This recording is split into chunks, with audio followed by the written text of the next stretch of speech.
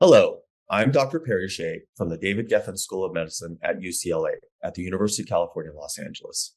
On behalf of my co-authors, I'm here to share the results of Aspiro, the first study of gene therapy for X-linked myotubular myopathy, now published in Lancet Neurology.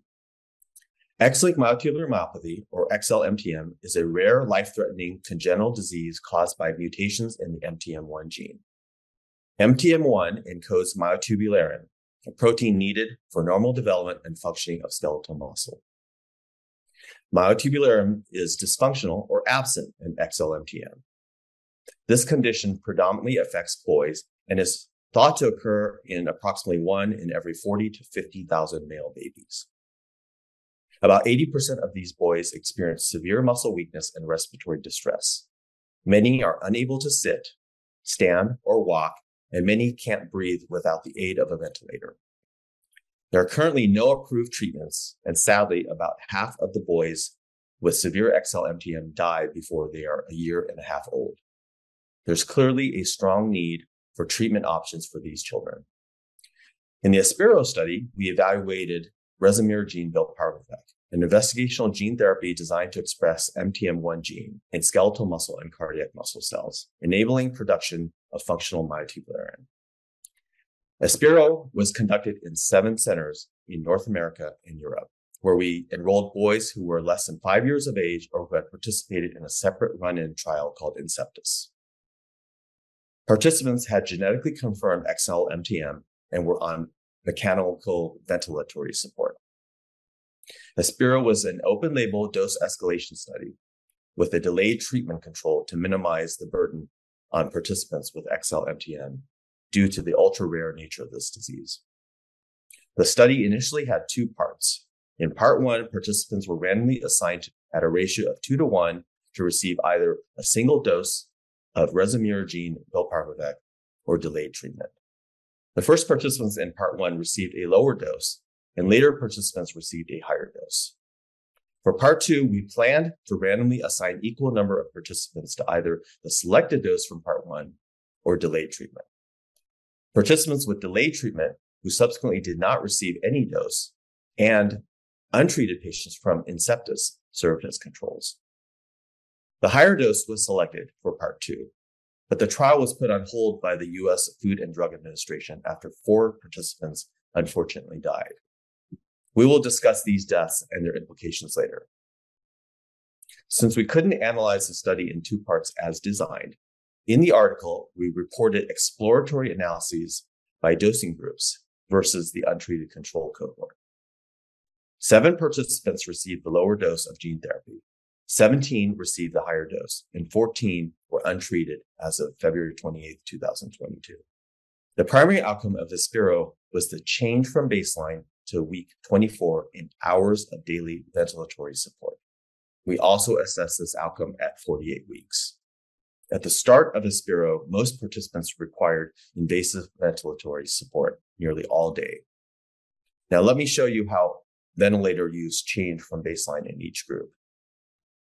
The untreated participants had very little change in ventilatory support over time.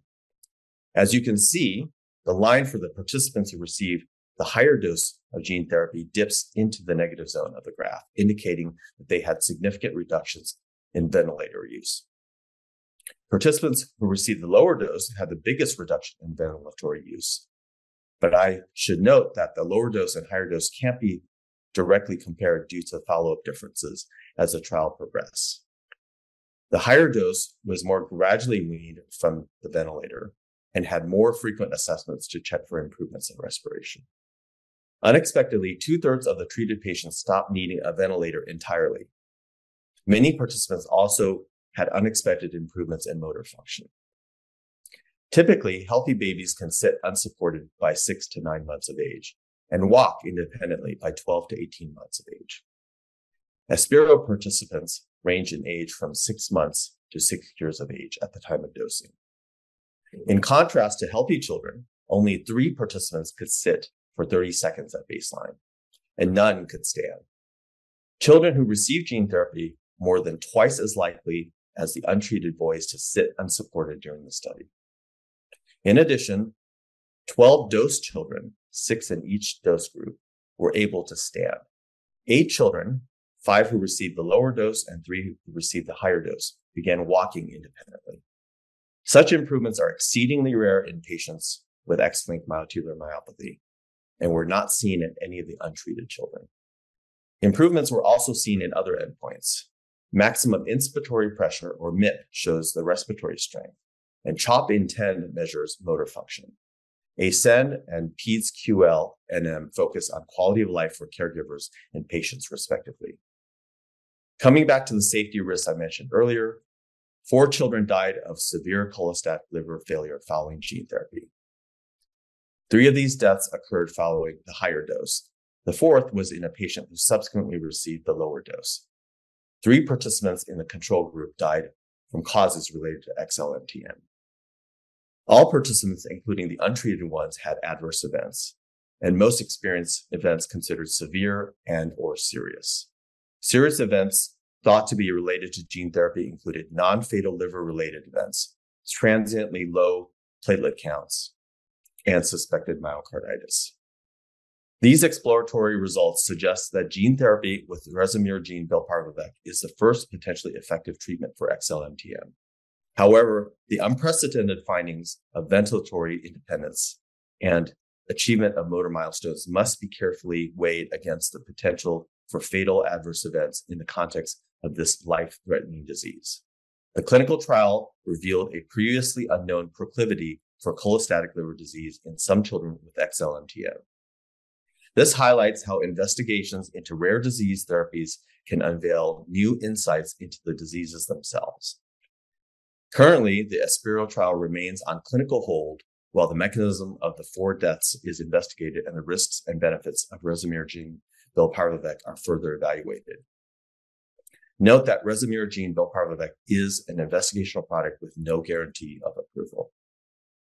My co-authors and I would like to thank the children, families, and the XL MTM patient community for their contributions to the study.